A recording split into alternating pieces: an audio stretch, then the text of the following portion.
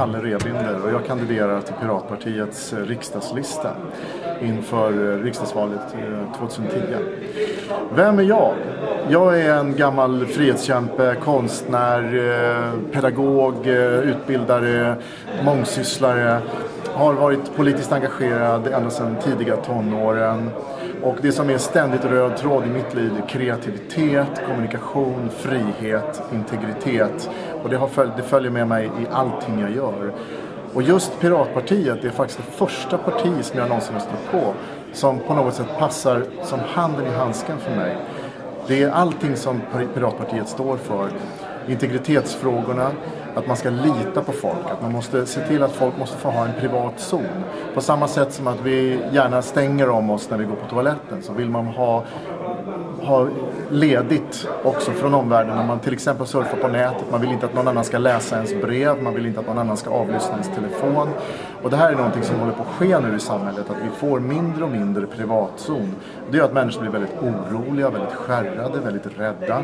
Och jag tycker att det är en väldigt farlig utveckling. Jag tycker att vi måste börja lita på varandra. Vi måste börja ta hand om varandra på, på rätt sätt. Vi måste eh, uppmuntra människor till att vara kreativa, uppmuntra människor till att vara levande, kloka, friska människor utan att behöva övervaka varandra. Det finns ingen, ingen mening med all denna övervakning.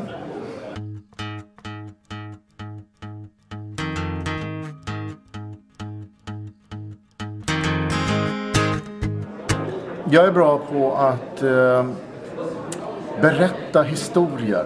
Jag är bra på att få saker och ting, ge saker och ting en yttre form så att man begriper det.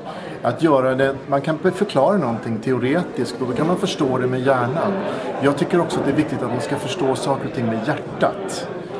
Och det är jag bra på som gammal skådespelare, historieberättare, konstnär.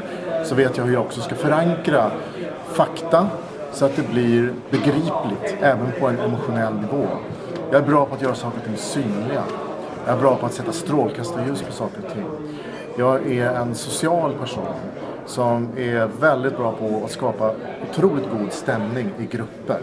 Och jag vet att i en riksdagsgrupp som utsätts för väldigt hårt tryck utifrån och väldigt mycket slitningar inifrån så krävs det inte bara en utan flera sociala begåvningar som har en förmåga att knyta ihop en grupp. En förmåga att skapa kärlek, värme, samhörighet i en grupp. Sånt är jag bra på. Det jobbar jag med hela tiden.